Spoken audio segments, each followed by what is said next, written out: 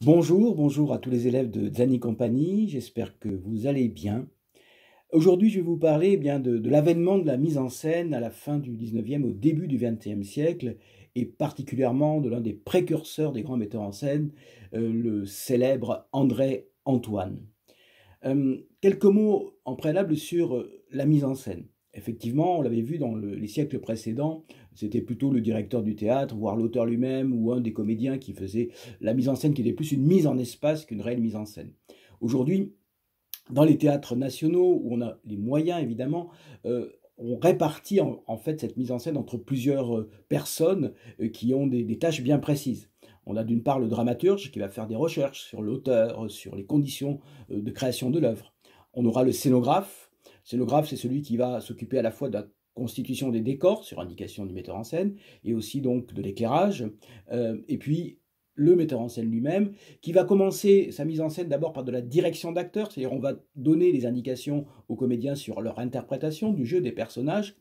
Et tout cet ensemble, direction d'acteurs, scénographie, dramaturgie, deviendra la mise en scène. La mise en scène, c'est vraiment le point de vue global sur l'œuvre, porté par une personne qui veut peut-être apporter un éclairage nouveau sur une œuvre, euh, souvent une œuvre du passé, et voir en quoi cette œuvre, qui peut-être a été créée il y a deux, trois siècles, peut encore nous parler de nos jours. Et donc le, regard du metteur en scène contemporain, du metteur en scène de nos jours, ça sera vraiment de donner ben, son point de vue. Euh, par exemple, euh, certaines mises en scène de Tartuffe récemment se sont interrogées sur les, les ponts qu'on peut faire entre le personnage de Tartuffe et les extrémismes religieux de quelque ordre qu'ils soient. Voilà. Euh, alors, la mise en scène apparaît donc euh, à la fin du 19e siècle, au début du, 20e siècle, euh, quand on commence dans les théâtres dits d'avant-garde à chercher des nouveaux auteurs, des auteurs un peu novateurs. André Antoine, donc, c'est au départ un comédien amateur. Il est employé à la compagnie du gaz, mais il a une conception du théâtre qui se veut un peu populaire et en même temps moins élitaire. donc, il va créer dans un petit théâtre près de la place Pigalle, euh, qu'on appellera le théâtre libre, euh, une, une, structure pour accueillir en fait euh, les auteurs que l'on ne joue pas ailleurs. Soit parce que leur propos est, est, trop irrévérencieux, soit parce que la pièce est trop originale, et les directeurs de salle étant très souvent frileux, ne voulant pas engager leur denier sur des pièces qui peut-être n'étaient pas forcément très euh, jouables ou, en tout cas risquaient de ne pas avoir de trouver leur public, eh bien refuser ces auteurs-là. Donc le théâtre libre, c'est la première fois que l'on donne la chance à ces nouveaux auteurs. Alors comme on n'a pas trop de moyens, Antoine imagine euh, un système d'abonnement, c'est-à-dire que donc les gens vont payer, faire confiance en fait en payant un abonnement, et cet abonnement permettra de financer la production des spectacles. Et pour la première fois dans ces premier spectacle du théâtre libre, on s'intéresse et on s'interroge sur la mise en espace, sur le mouvement global qu'on peut trouver dans une pièce.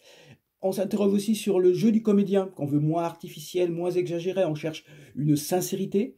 Et puis également, euh, la grande caractère novateur, c'est euh, Antoine veut scrupuleusement reproduire la réalité en construisant des décors qui soient totalement conformes à l'endroit où se joue la pièce, au point que le spectateur puisse vraiment euh, s'identifier encore plus à la situation. Euh, il est évidemment influencé par le mouvement naturaliste hein, de l'époque, et donc il n'hésitera pas, bon bah, à utiliser de vrais meubles qu'il mettra sur la scène. Euh, si la scène se passe dans une boucherie, eh bien, il, va chercher sur le boucher des, quartiers de viande, il mettra sur la scène. Voilà, donc pour, tout ça pour reproduire vraiment la réalité dans ses plus infimes détails. Ensuite, euh, il euh, proposera donc que les costumes soient vraiment trouvés chez les fripiers pour éviter d'avoir trop de frais.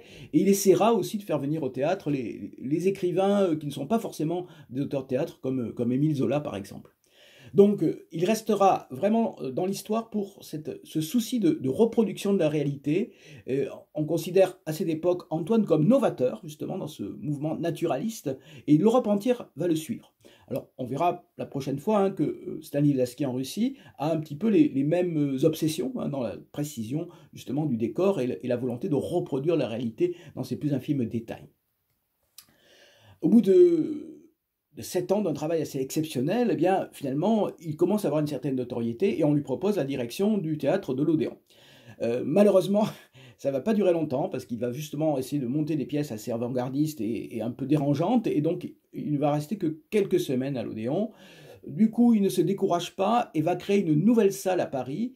Il deviendra le directeur donc euh, d'une salle qu'on appellera la Comédie euh, parisienne, qui se situe au 14 boulevard de Strasbourg. C'est une salle de 1000 places et là aussi, il est très novateur. Il ne veut plus euh, du théâtre à l'italienne, donc il, veut, que le public soit sur une seule coulée face à la scène, comme dans tous les théâtres contemporains actuellement, hein, comme le nouveau théâtre, euh, de façon justement à ce que tout le monde puisse voir de la même façon égalitaire le, spectacle. De même, il réduit euh, de moitié l'entrée des, places. Généralement, la norme à l'époque, au début du XXe siècle, c'était 10 francs, et il fait place à, à 5 francs. Et il va commencer donc à donner leur chance à des auteurs. Alors certains évidemment sont disparus, mais encore aujourd'hui, euh, parmi ceux qui sont encore aujourd'hui célèbres, on peut citer Courteline ou, Jules Renard. Lui-même interprète euh, et monte le Roi Lear, ce qui est un, gros risque financier, parce que le Roi Lear, c'est une pièce où il y a une vingtaine de personnages euh, et des costumes, etc. Et il s'attribue lui-même le, personnage du, Roi Lear. Ça a quand même pas mal de succès. Et à nouveau, on va lui proposer la direction du, théâtre de, l'Odéon. Et là, cette fois-ci, il va rester pendant à peu près 7 ans, 8 ans euh, au théâtre de l'Odéon. Et il va imprimer sa patte. D'abord, il va supprimer 300 euh, places qu'il estime euh, de, très mauvaise visibilité. Donc voilà, on ne va pas faire venir les gens au théâtre alors qu'ils ne peuvent pas voir la scène. ensuite, il a un projet qui est vraiment un peu fou, c'est de monter une nouvelle pièce par semaine. Alors, en, en 7 ans, il va monter 350 pièces, ce qui est un nom, fabuleux. en même temps, évidemment, il va prendre d'énormes risques financiers, euh, avec cette volonté donc que les, prix des places soient euh, relativement réduits, euh, qu'on diminue la, jauge de Odéon, et puis, bon, ben, finalement, vouloir monter des projets trop ambitieux va le mettre vraiment, va, faire que les dettes vont, vont s'accumuler, d'autant qu'il refuse la tradition qui voulait à l'époque que les comédiennes payent elles-mêmes leurs costumes. Donc déjà, elle gagnait 300 francs par mois, ce qui n'était pas énorme, à l'époque. Il se révolte contre ça, il dit non, les frais de costume seront globalisés dans le budget du théâtre. Donc ce théâtre de l'Odéon, euh, ben, évidemment, il est foisonnant, mais toutes les pièces n'ont pas forcément le même succès. Et puis, il faut savoir aussi qu'à l'époque, l'Odéon, c'est le seul théâtre rive gauche. À Paris, tous les théâtres étaient rive droite. Et donc, euh, bon, c'est un petit peu perdu. Hein, et donc, les, moqueurs, euh, les, critiques disent, bah, quand, le théâtre de l'Odéon, il faut y aller avec une boussole pour le trouver. Donc, maintenant, euh, évidemment, dans le quartier latin, on le trouve beaucoup plus facilement. Voilà donc pour la contribution de, André Antoine donc à, la fondation hein, du, théâtre contemporain et donc les, premiers éléments de, volonté de mise en scène. Euh, il restera, donc il a, vécu très longtemps, hein, André Antoine, puisqu'il a, il, a vécu presque 100 ans, il est né en 1858, il est mort en, 1943, et donc par la suite, euh, il deviendra lui-même cinéaste, il, montera de petits films en cinéma muet, puis euh, critique, critique dramatique, et donc jusqu'à sa mort en 1943, il sera quand même un personnage référent, et beaucoup de jeunes auteurs viendront le trouver pour lui lire leurs pièces. Voilà, donc on ne peut pas parler du théâtre de la fin du 19e siècle et du début du 20e sans faire évidemment peut-être aujourd'hui une lecture de Edmond Rostand.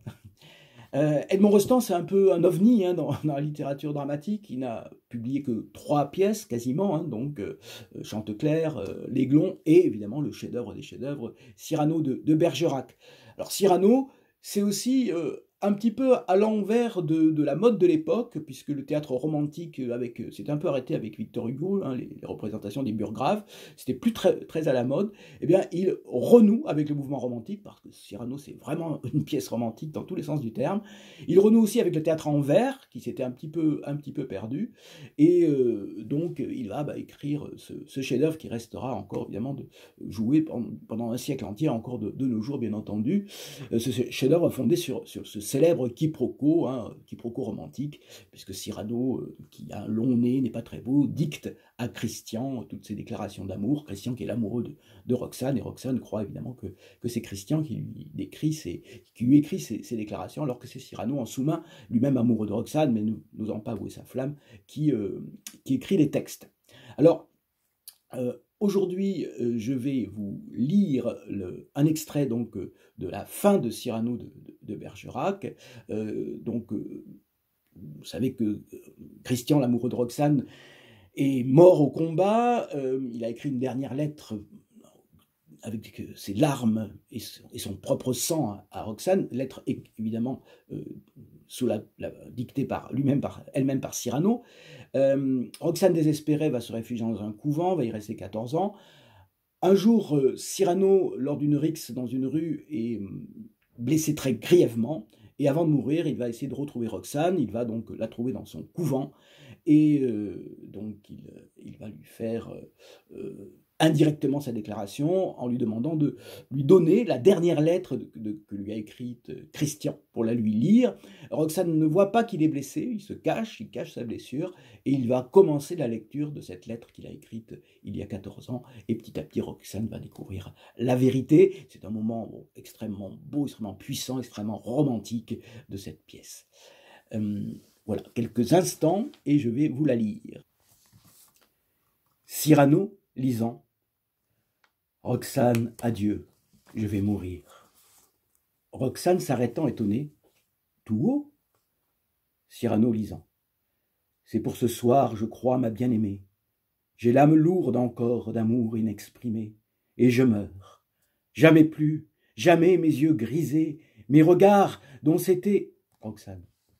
Comme vous la lisez, sa lettre Dont c'était les frémissantes fêtes, ne baiseront au vol les gestes que vous faites. J'en revois un petit qui vous est familier pour toucher votre front. Et je voudrais crier, Roxane troublée, comme vous la lisez cette lettre? La nuit vient insensiblement. Cyrano. Et je crie, adieu. Roxane. Vous la lisez, ma chérie, ma chère, mon trésor. Roxane rêveuse.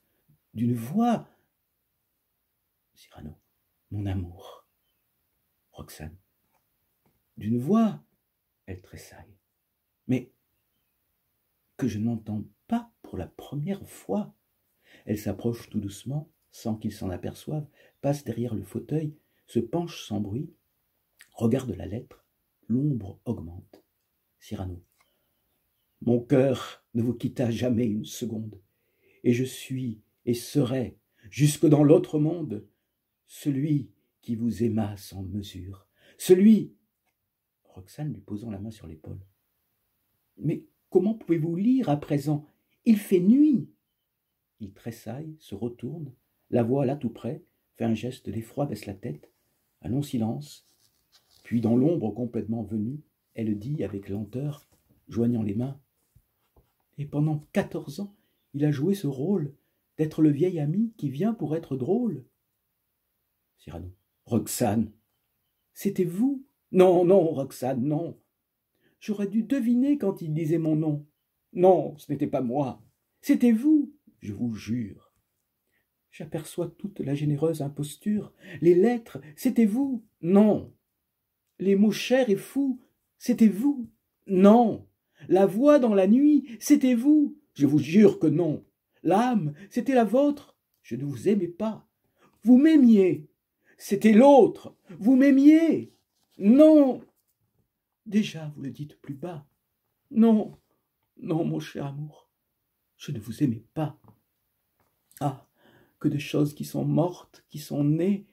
Pourquoi vous être tu pendant quatorze années, puisque sur cette lettre où lui n'était pour rien, ses pleurs étaient de vous? Lui tendant la lettre, ce sang était le sien. Voilà, je vous souhaite une très belle journée.